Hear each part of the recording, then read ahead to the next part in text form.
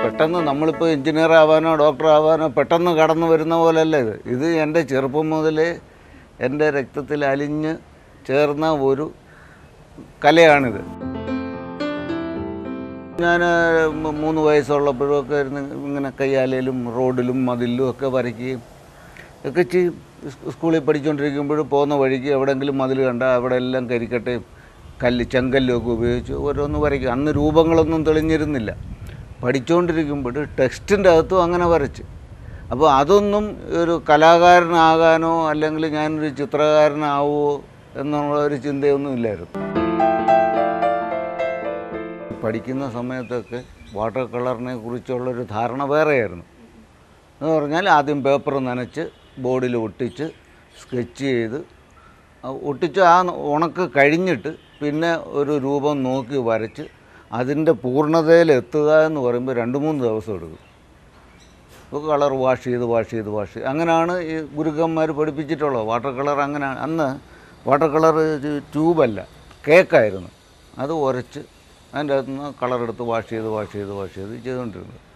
പഠിത്തമൊക്കെ കഴിഞ്ഞ് ബോംബെ പോയി ഒക്കെ കഴിഞ്ഞ് അവിടെയുള്ള മാസ്റ്റേഴ്സിന്റെ വർക്കും അവർ ചെയ്യുന്ന രീതിയൊക്കെ കണ്ട് ശീലിച്ചിട്ട് വന്നു കഴിഞ്ഞപ്പോൾ വാട്ടർ കളർ അങ്ങനല്ല ചെയ്യുന്നതെന്നും അതിന്റെ ഒരുപാട് ലെയറുകൾ നമുക്ക് അന്നേരം അന്നേരം തന്നെ വെച്ച് എഫക്റ്റ് ഉണ്ടാക്കാമെന്നും.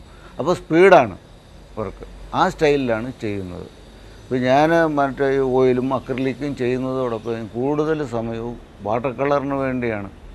അപ്പോൾ വാട്ടർ കളറിലാണ് ഞാൻ കൂടുതലും പടങ്ങൾ ചെയ്തിട്ടുള്ളത്. വാട്ടർ കളർ ചെയ്യുമ്പോഴെപ്പോഴും ലാൻഡ്സ്കേപ്പുകളായിരിക്കും ചെയ്യുന്നത്. അപ്പോൾ അതിന് വേറെ തീമൊന്നും കാണത്തില്ല. ആ നമ്മൾ വരയ്ക്കാൻ ഉദ്ദേശിക്കുന്ന ഇപ്പം സ്ഥലങ്ങളിൽ പോയി നിന്ന് വരയ്ക്കാറുണ്ട്. അവിടുന്ന് ഫോട്ടോഗ്രാഫി അവിടുത്തെ പടം എടുത്തുകൊണ്ട് വന്നിട്ട് വീട്ടിലിരുന്ന് ചെയ്യാറുണ്ട്.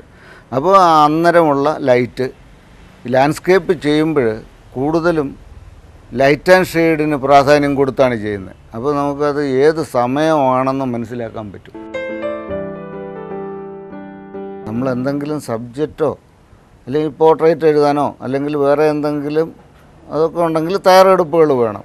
പിന്നെ റെഫറൻസ് വേണം. ഇപ്പോൾ നമ്മൾ വേറെ സബ്ജക്റ്റിൽ വെച്ച് എന്തെങ്കിലും ചെയ്യാൻ ഉദ്ദേശിക്കുന്നെങ്കിൽ ഇതൊക്കെ വേണം. അപ്പോൾ ലാൻഡ്സ്കേപ്പ് വാട്ടർ കളർ ലാൻഡ്സ്കേപ്പ് അതിന് പരീക്ഷണമെന്ന് പറയുന്നത് ചില ഫോംസ് വെച്ചിട്ട് വാട്ടർ കളറിൽ തന്നെ ആ ഫോംസ് കളർ ഫില്ല് ചെയ്ത് ഓരോ കാരണം ഈ വാട്ടർ കളർ എന്ന് പറയുന്നത് ട്രാൻസ്പെറന്റ് ആണ്. അപ്പോൾ ഒരു കളറ് മറ്റൊരു കളറിന്റെ പുറത്ത് നമ്മൾ അപ്ലൈ ചെയ്യുമ്പോൾ അടിയിലത്തെ കളർ നമുക്ക് കാണാൻ പറ്റും.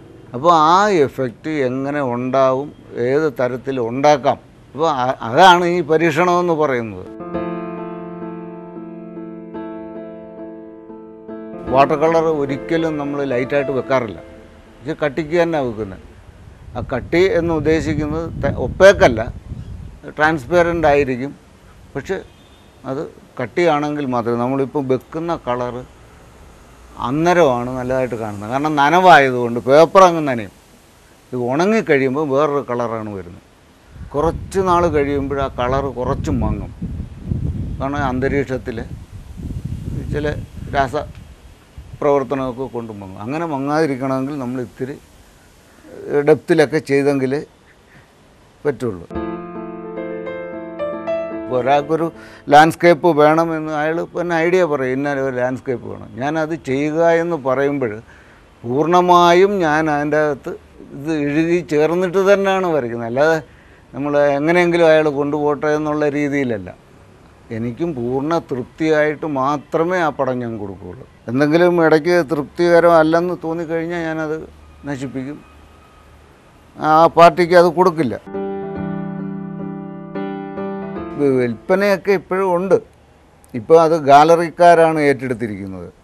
പിന്നെ ഏജന്റുകളുണ്ട് ഇപ്പോൾ അതൊരു ഇൻവെസ്റ്റ്മെന്റിന്റെ രീതിയിലാണ് ഇപ്പം പോകുന്നത്. ഏതെങ്കിലും പേരെടുത്ത ഒരു ചിത്രകാരന്റെ ചിത്രം വാങ്ങിച്ചു വയ്ക്കുക. വർഷങ്ങൾ കഴിയുമ്പോൾ അവൻ ലേലത്തിൽ വിൽക്കുക. ആ ലേലം നല്ല തുകയ്ക്ക് പോവുക. ഇപ്പം ചിത്രകാരന് അതുകൊണ്ട് പ്രയോജനം വരുന്നില്ല. പക്ഷേ ചിത്രകാരന് മാർക്കറ്റ് വാല്യൂ ഉണ്ടാവും. ഇപ്പോൾ ഞാനൊരു പടം ചെയ്ത്. ഒരു അഞ്ച് കൊല്ലത്തിന് ശേഷം അത് ഒരു കോടി രൂപയ്ക്ക് ലേലം പോയെങ്കിൽ ആ ഒരു എന്റെ ഒരു ചിത്രത്തിന് ഒരു കോടി രൂപ വിലയുള്ള ഒരു വിലയുള്ള ചിത്രകാരനായിട്ട് മാറും ഞാൻ. അപ്പം എനിക്ക് ആയിരം രൂപയ്ക്കോ രണ്ടായിരം രൂപയ്ക്കോ ഒരു ചിത്രം കൊടുക്കാൻ ഒക്കത്തില്ല. കോഴിക്കോട് എറണാകുളം ബോംബെ അങ്ങനെയൊക്കെയുള്ള സിറ്റികളിലെല്ലാം ബിസിനസ്സുകാരാണ് കൂടുതൽ.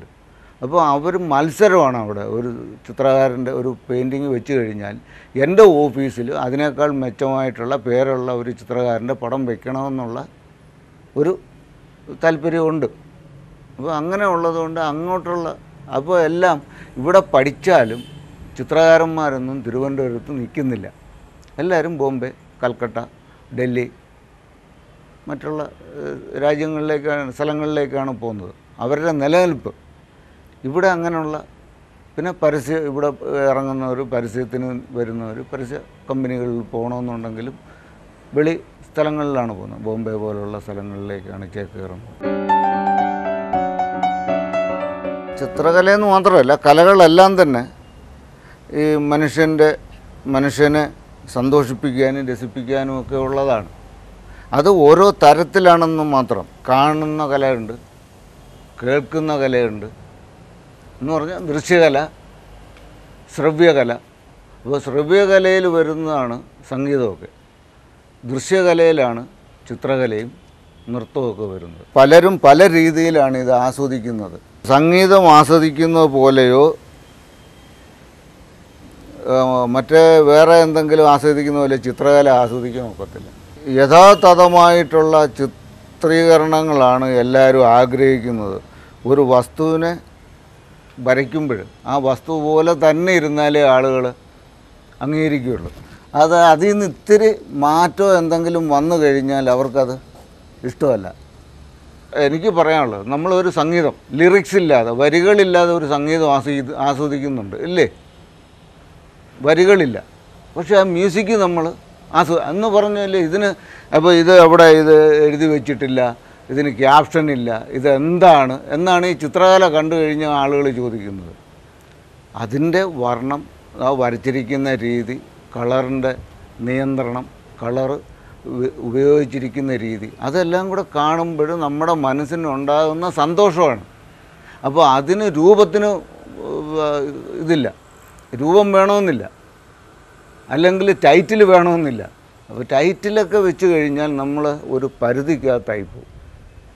ഇത് പരിധി ഇല്ലാതെ വരണമെന്നുണ്ടെങ്കിൽ അവരവരുടെ ഒരു കളറിന്റെ കോമ്പിനേഷൻ വർണങ്ങൾ നിരത്തിയ ഒരു കോമ്പിനേഷനും അതിന്റെ ഒഴുക്ക്. അപ്പോൾ ഇതെല്ലാം കണ്ടു കഴിയുന്നുണ്ടെങ്കിൽ നമ്മുടെ മനസ്സിനുണ്ടാകുന്ന എന്താണോ അതാണ് ചിത്രകാരൻ ഉദ്ദേശിച്ചേക്കുന്നത്.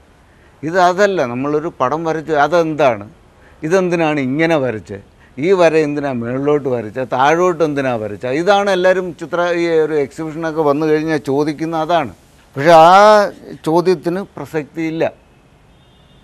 നമ്മൾ പിന്നെ വരികളില്ലാത്ത ഒരു സംഗീതം ആസ്വദിക്കുന്നത് പോലെ തന്നെ കളറുകൾ കണ്ടിട്ട് അതിന്റെ അറേഞ്ച്മെന്റ് രീതികൾ കണ്ടിട്ട് നമ്മുടെ കണ്ണിന് സുഖമായിട്ട് തോന്നും. അത് നമ്മൾ ആസ്വദിക്കണം. അപ്പോൾ അതിന്റെ അകത്ത് അയാൾ എന്തിനാണ് ഈ വര ഇവിടെ കൊണ്ട് വരച്ചത്? മറ്റേ എന്തിനാണ് അവിടെ ചെയ്തത്? അങ്ങനെ ചോദിക്കേണ്ട ആവശ്യമില്ല. ഗുരുക്കന്മാരെ എല്ലാം ആരാധിക്കുന്നുണ്ട്. അവരുടെ എല്ലാ ഓരോ അംശങ്ങൾ എന്റെ ചിത്രത്തിൽ കാണും. കാരണം അത് ആ രീതിയിലാണ് ആരാധിക്കുന്നത്. അല്ലാതെ നമ്മൾ കണ്ണടച്ചിട്ട് ഇന്നാരെ തന്നെ ഒരാളെ തന്നെ ആരാധിക്കുന്നില്ല. ആ അതിലുള്ള നല്ല അംശങ്ങളാണ് എടുക്കുന്നത്. പലരും ഇപ്പോൾ രവിവർമ്മ എടുത്തു കഴിഞ്ഞാൽ രവിവർമ്മയുടെ നല്ല അംശങ്ങളാണ് നമ്മൾ എടുക്കുന്നത്. ഇത് മൈക്കലാഞ്ചലോ എടുത്തു കഴിഞ്ഞാൽ മൈക്കലാഞ്ചലയുടെ നല്ല അംശങ്ങളാണ് എടുക്കുന്നത്. ഇപ്പോൾ കാനായി എടുത്തു കഴിഞ്ഞാൽ കാനായി ചെയ്തിട്ടുള്ള വർക്കിന്റെ നല്ല അംശങ്ങളാണ് എടുക്കുന്നത്. പിന്നെ കൂടെ പഠിച്ച സുഹൃത്തുക്കളുണ്ട്. അപ്പോൾ അവരുടെ വർക്കിൽ നിന്നും നമുക്ക് നല്ലതെന്ന് തോന്നുന്നു എടുക്കാം. കുട്ടികളിൽ നിന്നും എടുക്കാം. നമ്മൾ ആരിൽ നിന്ന് എന്ത് പഠിച്ചാലും അവരെല്ലാം ഗുരുക്കന്മാരാണ്. ഒരു ചിത്രകാരൻ രംഗപ്രവേശം ചെയ്താൽ ആ നാട്ടിൽ അവന്റെ വീടിന്റെ അടുത്തുള്ളവർ മാത്രമേ അറിയുന്നുള്ളൂ. അവന് അവന്റെ പട്ടണത്തിലൊരു ചിത്രപ്രദർശനം നടത്താൻ പറ്റിയ ഗാലറികളില്ലാത്തതാണ്. ഇപ്പോഴെന്ന് പറഞ്ഞാൽ ഇപ്പം ലളിതകല അക്കാഡമി പല സോണൽ ഏരിയകളിലെല്ലാം ഇതുണ്ട്. ഗാലറികളിലുണ്ട്. തിരുവനന്തപുരത്ത് തന്നെ ഒരു ഏഴെട്ട് പത്ത് ഗാലറി. എന്നാലും സാധാരണക്കാരന് നടത്താൻ പറ്റത്തില്ല. കാരണം വാടക.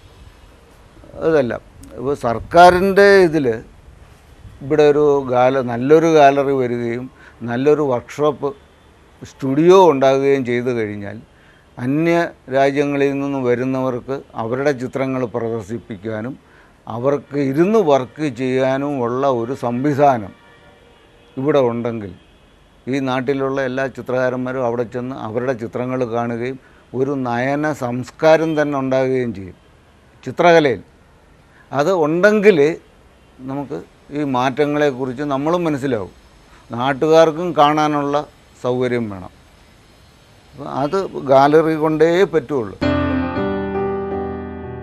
പഠിക്കുന്ന പിള്ളേർ വായനയെ കൂടി വിഷ്വൽ മീഡിയയെ കൂടി ചിത്രകാരന്മാരെ കൂടുതൽ അറിയുന്നുണ്ട്. പണ്ട് അങ്ങനെയില്ല കേരളത്തിലുള്ള എത്ര ചിത്രകാരന്മാരുണ്ട്? അതിൽ മൂ നാലിലൊന്ന് പേരെ മാത്രമേ ഇപ്പോൾ തിരുവനന്തപുരത്ത് പഠിക്കുന്ന വിദ്യാർത്ഥിക്ക് തിരുവനന്തപുരം കൊല്ലം ജില്ലയിലുള്ള ആര് ചിത്രകാരന്മാരായിട്ടുണ്ട്? ഒന്നോ രണ്ടോ പേരെ അറിയൂ. കൊച്ചി പഠിക്കുന്നവർക്ക് ആ ഏറിയ. മലബാറിൽ പഠിക്കുന്നവർക്ക് ഇപ്പം അങ്ങനല്ല. ഇപ്പോൾ വിഷ്വൽ മീഡിയ ഉള്ളതുകൊണ്ട് ഈ ലോകത്തിന്റെ എവിടെയൊക്കെ ചിത്രകാരന്മാരുണ്ട് എക്സിബിഷൻ നടക്കുന്നുണ്ട് അതെല്ലാം നമുക്ക് കാണാനും അവരവരുടെ സ്റ്റൈലുകൾ മനസ്സിലാക്കാനും പഠിക്കാനും ഒക്കെയുള്ള സംവിധാനം ഇപ്പോൾ ഉണ്ട്. ചിത്രകല പല രീതിയിൽ അപ്പം ഇത് ഈ ചിത്രകല അഭ്യസിക്കുന്ന പിള്ളേർക്കും താല്പര്യമുള്ള കുട്ടികൾക്കും അവരെല്ലാം സ്വാധീനിച്ചിട്ടുണ്ട്. ഞാൻ ഇതുകൊണ്ട് തന്നെയാണ് ജീവിക്കുന്നത്. ഇത്രയും കാലത്തെ എക്സ്പീരിയൻസ് കൊണ്ട് തന്നെയാണ് എന്റെ കുടുംബം പുലരുന്നതും ഞാൻ ഇതുവരെ ആയതും. ഇങ്ങനെ നിങ്ങളുടെ ക്യാമറയുടെ മുന്നിൽ നിൽക്കുന്നതൊക്കെ ഈ ചിത്രകല കൂടി തന്നെയാണ്. അതിൽ നിന്ന് മാറ്റമില്ല.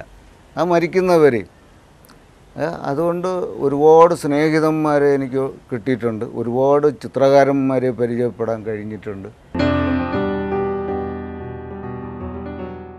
നമ്മൾ ചെയ്യുന്ന ജോലി ആത്മാർത്ഥമായിട്ട് ചെയ്യുക. എന്തായാലും ആത്മാർത്ഥത വേണം.